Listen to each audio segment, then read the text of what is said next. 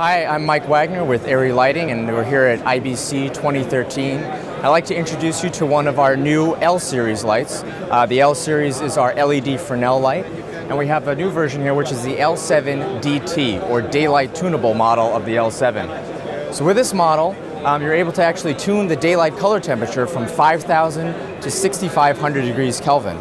In addition, you could change the green magenta point just by turning the knob. So you have all these onboard controls right here where you could dim the light, of course, change the color temperature, and adjust the green magenta point.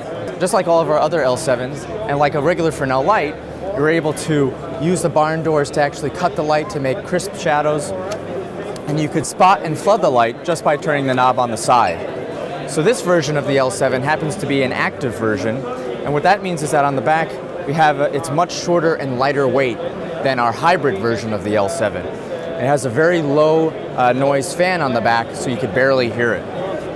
Of course, we have onboard DMX, so you can control it remotely via a, a lighting console, or maybe even an iPad if you have the right uh, application and hardware.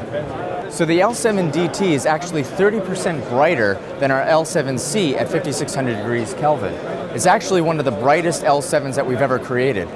And it's going to be perfect for uh, TV studios that are switching to daylight color temperatures. So it's a really powerful light source. So that's our L7DT. It joins our L7 family of lights, starting with the L7C, which is tunable from 2800 to 10,000 degrees Kelvin and can also do vibrant colors. And it also joins our L7TT, or tunable tungsten, which is able to tune from uh, 2600 degrees Kelvin to 3600 degrees Kelvin. And so we're happy to have a, a complete line of the L7, and we're prepared to move on to larger and smaller versions of the L series line. So thank you very much for watching, and please uh, visit our website at arri.com for more information.